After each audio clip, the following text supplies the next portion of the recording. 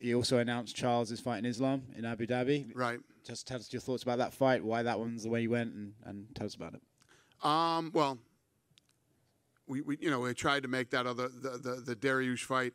Broke his ankle.